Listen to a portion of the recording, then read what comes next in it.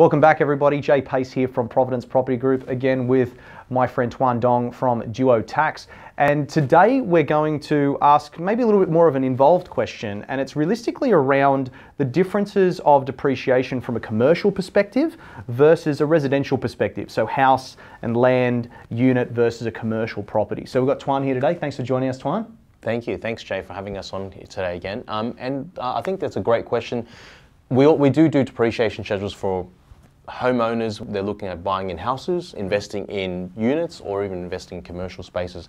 The biggest difference is in commercial spaces, we can claim plant and equipment on all type of properties, whether commercial. That means uh, there's an exemption to the Housing Integrity Bill mentioned last time, in that the legislation does not allow for residential property investors to claim on second-hand plant and equipment. Mm-hmm. That is the biggest difference, and that means that if you buy a commercial space, whether it's a retail space or an office space, you can claim all the plant and equipment regardless.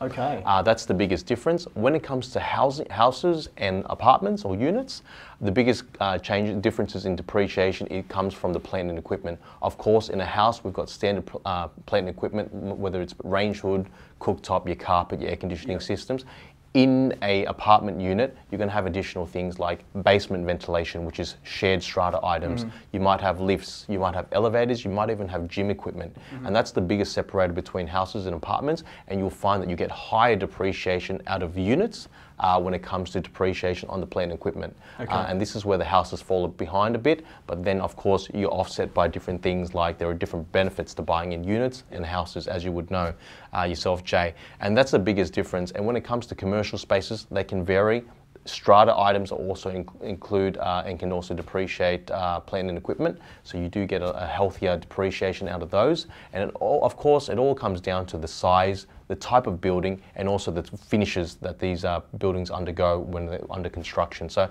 one of those things you're going to have to consider. But when it comes to in general information, I would say that units would generate the most depreciation, mm-hmm. um, and, and, you could appreciate the differences yeah. in investing in each of them.